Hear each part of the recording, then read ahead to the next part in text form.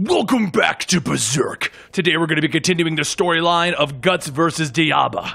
And when we last left off, Guts cut into a Kundalini with water spraying out and the Kundalini releasing a thin stream of pressurized water. Daiba says that it is said that the lapping waves can crush even rocks and crags, and when you bind that power with the sharpness of a needle, you can even cut diamonds. The thin stream rips through the ship, cutting it in half, forcing Guts to attack. He then says that the other thing is, water cannot be cut. Schierke says they need to be careful. This spell is no simple matter. They need to look for its weakness. And Guts asks, What? It doesn't have a large enough body? And Schierke tells him to look. Inside of the Kundalini, Guts spots a small snake slithering through the giant body. And he says, We just need to cut that thing, right?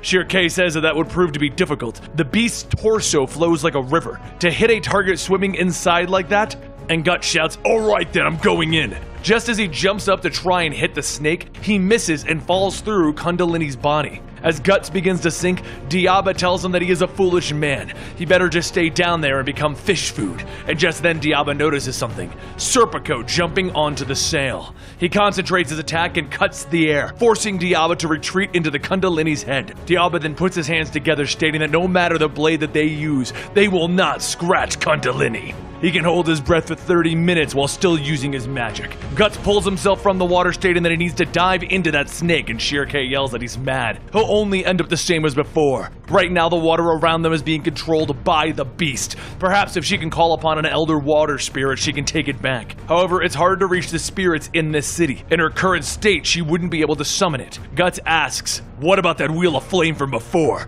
And Schierke tells him that it's certainly strong, but their enemy is the ocean. Besides that, there's no way that she can separate from him. If she were to do that, he would just. And Gut says that there's no need to separate. Just think. Schierke begins to think that she can do it, but it would seem extremely reckless. One wrong step and Guts yells, It's just the two of us now. We'll do this together. Believe in me as I believe in you. Schierke closes her eyes and she begins to chant to call forth the fire spirit, but at the same time, Guts holds out his sword towards Daiba, and the blade bursts into a violet flame. He begins rushing forward with the sword, and Kundalini lets out another stream to try and stop him. The flames burn through the water, and Guts plunges straight into his head. Suddenly, the sword begins to glow bright, and it lets out powerful waves of heat, destroying the beast's head. As Guts and Serpico fall back towards the water, Daiba shouts, calling to Garuda. A winged creature flies up, catching Daiba, and the two begin to make their escape. But Serpico lands on one of the broken pieces of the ship, asking Guts if he's okay. Guts laughs, telling him, Yeah, the water feels nice on my burning body. That was a pretty good combo back there, huh? Schierke yells that they need to hurry and get back so that she can treat his wounds. But what they did was extremely dangerous. Don't ever make her do that again. Schierke grips tighter onto Guts' shoulder, and Guts tells her, Okay, just don't shout in my ears. Or is it in my head?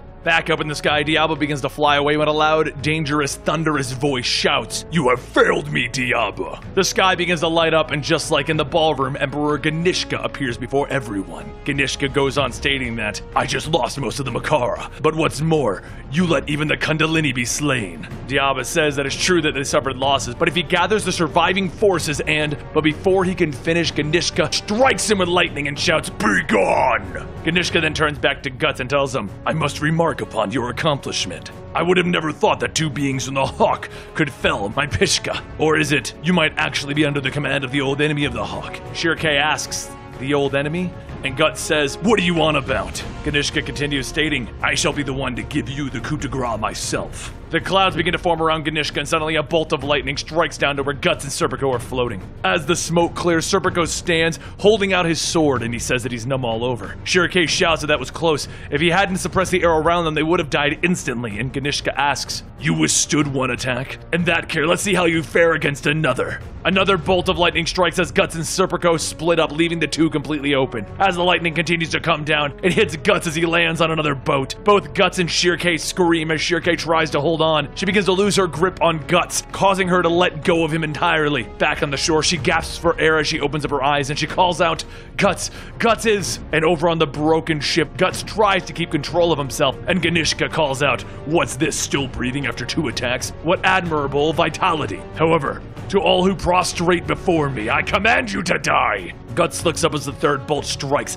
hitting onto the ship. Ganishka watches as the smoke clears, and from it, the hilt of Guts' sword can be seen. Guts laughs, telling him that it looks like it's true what they say. Lightning strikes at the highest point. Ganishka stares and says that he survived being bathed this long by his lightning, which has easily sent reborn apostles into a fiery ruination. No mere human can do such a thing. Perhaps you are one of the Hawk's commanders after all. Guts sits there for a moment and begins to laugh, and he tells him, That's gotta be the worst joke that I've ever heard. Screw you, I'm human. All the way down to the marrow in my bones, so don't put me together with you monsters. Ganishka watches and then says, This is amusing.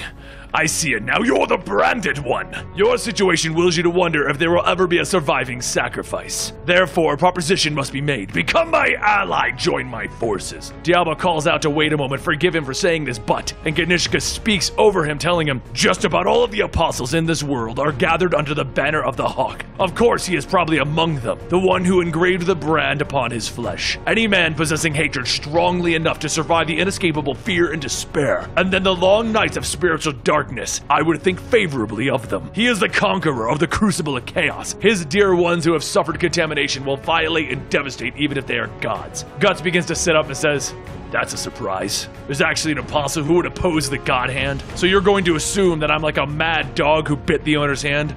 Not bad. I can't say that I don't like that stuff, but as much as I hate to say it, I really don't have time for all of this crap. Like I could really care about a pissing contest between monsters. Go find someone else. Go ahead and be a conqueror or whatever else. Going all sparky is getting rather annoying. Ganishka's torso's mouth begins to open and he shouts, Very well! Then for all of the lives of my followers, I will have yours for compensation. Before Ganishka can attack, everyone begins to hear a loud, bellowing roar. When everyone looks up, they see the Daka being slaughtered and the Daka hanging out of Nosferatu Zodd's mouth. More howling can be heard, and then the skies are filled with Griffith's forces. Diablo begins to speak, stating that that's. But Ganishka speaks over him, stating, So you have come, the insects that flock to the Hawk of Light. It would seem that we have no time to deal with the branded one individually. All of the flying creatures begin to fly towards Ganishka, and as they get close, he releases a spark of electricity that spreads throughout the creatures. Serpico calls out to the guys, but Guts shouts that he will manage this somehow. He must turn back. Serpico pauses and then says,